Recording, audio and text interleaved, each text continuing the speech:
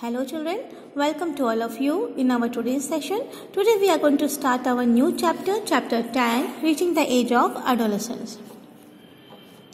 In the previous chapter, you have learned how animals reproduce. It is only after growing up to a certain age that human beings and many other animals can reproduce. Why can human reproduce only after a certain age? In this chapter, you will learn about changes that takes place in the human body after which a person becomes capable of reproduction. In chapter 9, you have learned about re- human reproductive organs. Here, we shall discuss the role that hormones plays in bringing about changes that makes a child grow into an adult. Children जो हमने previous lesson हमारा पढ़ा था पढ़ा था about reproduction उसमें हमने ये स्टडी करा कि एक सर्टन एज तक आने के बाद कैसे ह्यूमन बींग्स और दूसरे एनिमल्स में रिप्रोडक्शन होता है है ना? और वो कैसे? एक सर्टन एज तक होने के बाद एबल होते हैं टू रिप्रोड्यूस और प्लस हमने उनके रिप्रोडक्टिव ऑर्गन्स के बारे में भी स्टडी करी। इस चैप्टर में हम ये स्टडी करेंगे कि एक ह्यूमन बींग के बॉडी के अंदर ऐसे कौन से चेंजेस आते हैं जिससे वो चाइल्ड से एडल्ट तक ग्रो होता है और uh, जो उसमें हार्मोन्स से रिलेटेड क्या चेंजेस आते हैं और हार्मोन्स क्या कौन सा इंपॉर्टेंट रोल प्ले करते हैं कि एक जो पर्सन ह्यूमन बॉडी है, वो रिप्रोडक्शन करने में केपेबल होती है। 10.1 point one adolescence and puberty Boojho was celebrating his twelfth birthday after his friends left Bujo and Pahili began chatting with their parents. Pahili studies in an all girls school. She started laughing. She remarked that many of Bujo's school friends, whom she met after a year, had suddenly shot up uh, in height. Some of them were looking very funny with a hairy line above their lips. Her mother explained that the boys had grown up. Children जब पूछो, अपना twelfth birthday celebrate करा था और जब उसके friend सब birthday celebrate करके अपने अपने घर चले गए तो पूछो और पहली अपने पेरेंट्स के साथ बैठकर चैटिंग कर रहे थे और पहेली क्योंकि सिर्फ़ गर्ल्स स्कूल में स्टडी करती थी तो वो उन बॉयज़ के लिए हंसने लग गई कि जो पूछो कि जो फ्रेंड्स हैं, वो साल भर के अंदर अंदर ही उनके बॉडी में कैसे चेंजेस आ गए, उनकी बॉडी कैसे चेंज हो गई, उनकी हाइट एकदम से ग्रो हो गई, और उनकी जो लिप्स है उस पर एक हेरी लाइन भी आने लग गई। तो उनकी जो मदर है उन्होंने उनको एक्सप्लेन करा कि वो जो बॉयज़ हैं वो अब दे हैड ग्रोन अप वो अब बड़े हो रहे हो रहे हैं उनमें उनकी बॉडी में चेंजेस आ रहे हैं। Growth begins from the day when uh, one is born. But upon crossing the age of 10 or 11 is sudden sudden in growth which becomes noticeable. The changes taking place in the body are part of growing up जो growth है children वो हमारा जब हम uh, हमारा जो birth होता है डे वन से हमारी बॉडी धीरे धीरे धीरे धीरे ग्रो होने लगती है। लेकिन जैसे ही हमारी बॉडी टेन और इलेवन को क्रॉस करती है इस एज के बाद हमारी बॉडी के अंदर कुछ ऐसे चेंजेस आते हैं विच आर नोटिसेबल और ऐसे जो चेंजेस होते हैं, वो ये शो करते हैं कि हमारी बॉडी के कुछ पार्ट्स हैं, उनमें कैसे ग्रोथ हो रही है, हमारी बॉडी के कुछ पार्ट्स कैसे ग्रोइंग अप हो रहे हैं। They indicate that you are no longer a child but are on the way to become an adult और ये जो चेंजेस हैं, ये शो करते हैं कि अब हम चाइल्ड नहीं रहे रहे हैं और हम चाइल्ड की एज से चाइल्डहुड से धीरे धीरे ऐसी एज में जा रहे हैं, जिसके बाद हम एडल्ट कहलाएँगे। Growing up is a natural process. The period of life when the body undergoes changes leading to reproductive maturity is called adolescence.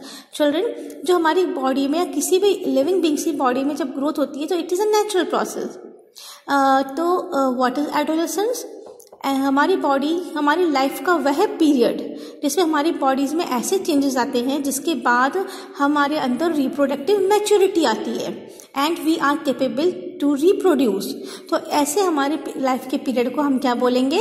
Adolescence adolescence begins around the age of eleven and last up to eighteen और nineteen years of age since this period covers the teens thirteen to eighteen और nineteen years of age adolescents are also called teenagers in girls adolescence में begin a year और two earlier than in boys. Also, the period of adolescence varies from person to person. Children, ये जो adolescence Uh, का जो period है हमारी life में इसको uh, uh, हम ऐसे इस पीरियड में जो बच्चे होते हैं उनको हम टीनेजर्स बोलते हैं और टीनेजर्स क्यों बोलते हैं क्योंकि ये जो एडोलेसेंस है ये इलेवन की जो बात का एज है जैसे कि मतलब इसके अराउंड स्टार्ट होता है और 18 या 19 की एज तक ये पीरियड चलता रहता है ठीक है ना?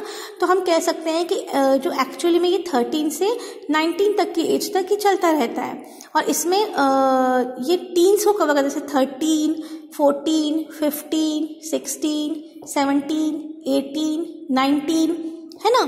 तो इसलिए ये जो एडोलसेंस है एडोलसेंट्स हैं, यानी कि वो जो बच्चे हैं, वो क्या कहलाएँगे? इस लाइफ टाइम के पीरियड में टीनेजर्स और गर्ल्स में जो पीरियड है एडोलसेंस का, या जो टीनेज है, ये एक साल या दो साल बॉयज़ से पहले आ जाती है और हर पर्सन टू पर्सन ये टीनेज का पीरियड है या एज अपन कह सकते हैं कि जो एडोलसेंट्स का पीरियड है, ये डिफ डिफ डिफर करता है या वेराइज करता है डिफरेंट होता है person to person The human body undergoes several changes during adolescence. These changes mark the onset of puberty. The most important change uh, which marks puberty is that boys and girls become capable of reproduction. Puberty ends when an adolescent reaches reproductive maturity. Children जो human body है हमारी उसमें adolescence के दौरान कई changes आते हैं और हमारी body the human body undergo several changes during the adolescence और इसमें हमारी uh, हम कह सकते हैं कि ये प्यूबर्टी की स्टार्टिंग है। प्यूबर्टी मीन्स हमारी बॉडी में कई चेंजेस आते हैं that is related to the reproduction और उसके बाद हमारी बॉडी रिप्रोडक्शन में केपेबल होती है। ठीक है? और प्यूबर्टी चेंजेस कब तक आते रहते हैं? जब तक कि हमारी बॉडी फुली मेच्योर नहीं हो जाती है related to the reproduction ten point two changes at puberty children अब हम वो स्टडी करेंगे कि ड्यूरिंग प्यूबर्टी हमारी बॉडी के अंदर क्या क्या चेंजेस आते हैं। जैसे कि increase in height change in body shape voice change increase activity of sweat and sebaceous gland development of sex organ and reaching mental intellectual and emotional maturity okay children now first is increase in height The most conspicuous, conspicuous uh, change uh, during puberty is the sudden increase in height. At this time, the long bones, that is the bones of the arms and the legs, elongate that make a person tall. During to uh, uh, children, to first change during puberty वो है increase in height. ठीक है और इस तरीके से जो आ, uh, हमारी जो आर्म्स uh, हैं और जो लेग्स हैं उनकी जो बोन्स हैं वो उनकी लेंथ बढ़ने लगती है और और जो लेग्स हैं दे एलोंगेट है ना? और एक पर्सन ने धीरे धीरे वो टॉल होने लगता है due to the increase in height और increase in length of bones activity ten point one the following chart gives the average rate of growth in height of the boys with uh, boys and girls with age. The figures in columns 2 and 3 give the percentage of the height that uh, a person has has reached at the age given in column 1 for example by the age of 11 a boy has reached 81% of this of his probable full height while a girl has reached 88% of her full height. These figures are only representative and there may be individual variations use the table for your friends and work out how tall they are likely to be. Find out who is likely to be the tallest and who might be the shortest in your class children ये एक table दे रखी है इसमें uh, जो as uh, है है ना जैसे eight years nine years ten years की जब एज होती है तब बॉयज़ की हाइट में कितनी ग्रोथ होती है गर्ल्स की हाइट में कितनी ग्रोथ होती है इसका uh, पूरा डिस्क्रिप्शन दे रखा है। एंड यहाँ पर उसका जो चार्ट है, वो गिवन है। जो use the data given in activity ten point one to draw graph और हमने जो टेन पॉइंट वन में जो जो ये डेटा है, इसको लेकर ये ग्राफ ड्रॉ करा है। जैसे कि यहाँ पर आप देख रहे हैं कि जब एट इयर्स की एज थी तो बॉयज़ में यहाँ पर सेवेंटी टू परसेंट हाइट थी गर्ल्स में सेवेंटी सेवन परसेंट तो यहाँ पर हम ड्रॉ करेंगे ग्राफ को, और यहाँ पर हाइट है जो बॉयज़ की वो सेवेंटी टू परसेंट जबकि गर्ल्स की है सेवेंटी सेवन परसेंट और इस तरीके से अकॉर्डिंग टू एज वाइज हम इन टेबल्स के डेटास को लेकर यहाँ पर ग्राफ ड्रॉ करेंगे। ओके चिल्ड्रेन तो यहाँ पर हम क्या ऑब्ज़र्व करेंगे? इनिशियली जो गर्ल्स हैं they grow faster than boys but by about 18 years of age both reaches their maximum height the rate of growth in height varies in different individual some may grow suddenly at puberty and then slow down while others may grow gradually यहाँ पर children ये एक normal data दे रखा है। है ना? Which shows the percentage of height with age of boys and girls तो यहाँ पर जो गर्ल्स है ये है कि जो गर्ल्स है वो बॉयज़ से जल्दी ग्रो कर रही है है ना? लेकिन एटीन की एज तक आता है तो दोनों की जो हाइट है वो अप्रॉक्सीमेटली सेम रहती है। है ना? वो अपनी मैक्सिमम हाइट को अचीव कर लेते हैं up to their eighteen years of age okay children और लेकिन आ, ये जो डेटाज है ये अलग अलग पर्सनस में या टीनेज में एक दूसरे से डिफर कर सकते वेराइज कर सकते हैं डिफरेंट हो सकते हैं। कुछ में धीरे धीरे ग्रोथ होती है और वो सडनली एकदम ग्रोथ कैच करते हैं। किसी किसी में कोई कोई ग्रेजुअली ग्रो करता है तो सब मतलब अपने अकॉर्डिंग उनके बॉडी के अकॉर्डिंग उनमें बॉडी में चेंजेस आते हैं। Here is the calculation for full height in centimetre the formula is present height जो हमारी अभी प्रेजेंट हाइट है कितनी है सेंटीमीटर में? Upon percent of full height at this age age given in the chart in to hundred suppose करिए कि आप फोर्टीन ईयर्स के हैं, ठीक है? और आपकी प्रेजेंट हाइट जितनी है, वो आप यहाँ लिखेंगे। और इस चार्ट के अकॉर्डिंग कितनी है 92 परसेंट वो आप नीचे लिखेंगे, उसको इंटू हंड्रेड से मल्टीप्लाई करेंगे। फॉर एग्ज़ाम्पल एक बॉय नाइन ईयर्स ओल्ड है, ठीक है? नाइन ईयर्स ओल्ड और वो 120 सेंटीमीटर टॉल है। ठीक है? तो at the end at the end of growth period वो कितने उसकी हाइट कितनी होगी? One twenty two sorry one twenty जो उसकी प्रेजेंट हाइट है upon seventy five seventy five कहाँ से आया? यहाँ से। इसमें से। है ना? जो यहाँ पर डेटा गिवन है, यहाँ से हम वो हाइट लेंगे सेवेंटी फाइव परसेंट तो वन ट्वेंटी सेंटीमीटर जो उसकी प्रेजेंट हाइट है है ना? अपॉन वह हाइट जो यहाँ पर दी हुई है इन टू हंड्रेड और इसको कैलकुलेट करने के बाद हमारा आएगा वन सिक्सटी सेंटीमीटर टॉल यानी कि उसको कितनी हाइट होनी चाहिए उसकी वन सिक्सटी सेंटीमीटर टॉल जबकि उसकी है अभी वन ट्वेंटी सेंटीमीटर तो in this way we can calculate full height in centimetre तो यहाँ पर हम इस तरह से फाइंड कर सकते हैं कि जब उसकी ग्रोथ पीरियड एंड हो जाएगी, है ना, पूरी तो उसकी हाइट 160 सेंटीमीटर होगी। सपोज़ यहाँ पर मैं एक दूसरे एग्जांपल देती हूँ कि एक एक गर्ल है, उसकी हाइट है टेन इयर्स है ना, और उसकी जो यहाँ पर ए हाइट है उसने जो उसकी एज है टेन ईयर्स और उसकी height suppose one twenty centimetre है। तो उसकी जब तक उसकी जो ग्रो एज है ग्रोथ पीरियड की वो पूरी एंड हो जाएगी तब उसकी हाइट कितनी होनी चाहिए ये हम फाइंड कर सकते हैं। कैसे? One twenty upon ten years में उसकी uh, जो परसेंटेज है वो है एट्टी फोर परसेंट तो one twenty upon eighty four into hundred and by this we can calculate कि वो उसकी जब उसका ग्रोइंग पीरियड का एंड आएगा यानी कि 18 या 17 या 18 ईयर्स तक वो पहुंचेगी तब उसकी एज कितनी होगी? जैसे कि अपन ने यहाँ पर फाइंड uh, करा है कि जब नाइन ईयर्स का बॉय है उसकी अभी प्रेजेंट हाइट 120 सेंटीमीटर है तो जब वो पूरा फुल ग्रोथ उसकी पीरियड uh, का एंड हो जाएगा ग्रोथ पीरियड का तब उसकी हाइट कितनी होगी? 160 centimetre There is no need for Paheli to worry. All parts of the body do not grow at the same rate.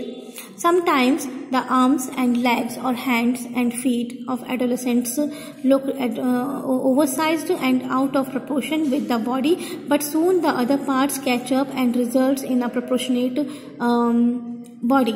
You must have noticed that height of an individual is more or less similar to the that of the some family members. This is because height depends on the genes inherited from parents. It is, however, very important to eat the right kind of food during these growing years. This helps the bones, muscles and other parts of the body get adequate nourishment for growth.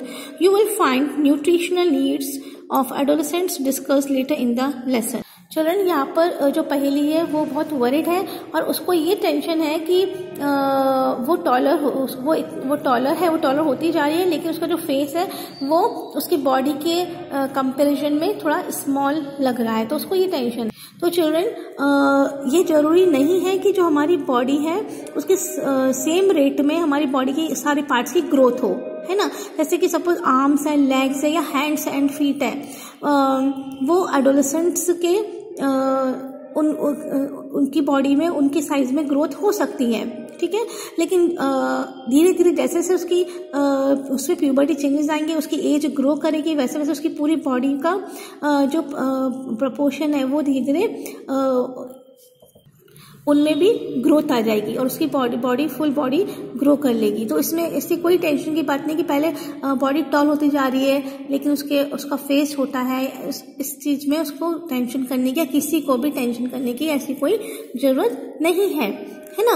आ, हम ये देख सकते हैं कि हमारी body में आ, किसी हमारी फैमिली में किसी किसी की जो बॉडी होती है उसमें ज़्यादा इतनी ग्रोथ नहीं होती है किसी की शॉर्ट हाइट हो जाती है तो एकदम टॉल हो जाता है। तो ये सब डिपेंड करता है कि जो हमारी जो दूसरे फैमिली मेंबर्स हैं ठीक है ना? आ, उनसे हम, हम हमको जो जीन्स मिलते हैं जो हमें हमारा जो जीन्स मिलते हैं हमारे पेरेंट्स से ग्रैंड पेरेंट्स से, उस पर डिपेंड करता है कि सपोज़ हमारी फैमिली मेंबर्स में कोई शॉर्ट हाइटेड है तो हमारी हाइट भी शॉर्ट हो सकती है है ना? या फिर किसी और में कुछ दूसरे करेक्टर्स हैं तो हमारे अंदर भी वो करेक्टर्स आ सकते हैं।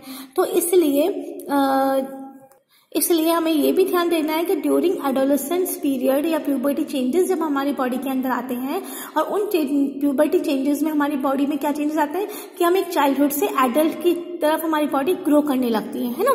तो उस वक्त हमारी बॉडी को प्रॉपर बैलेंस्ड डाइट की ज़रूरत होती है है ना? नरिश्ड फ़ूड हमारी हम, हमें खाना चाहिए हमारी बॉडी के अंदर एडिक्वेट नरिशमेंट हम हमारी बॉडी को मिलना चाहिए जिससे कि हमारी बॉडी में प्रॉपर ग्रोथ हो बोन्स की मसल्स की रिप्रोडक्टिव रिप्रोडक्शन से रिलेटेड जो हमारे जो दूसरे चेंजेस हैं, वो हमारी बॉडी में प्रॉपर हो, ये सब के लिए हमारी बॉडी को प्रॉपर नरिशमेंट मिलना चाहिए।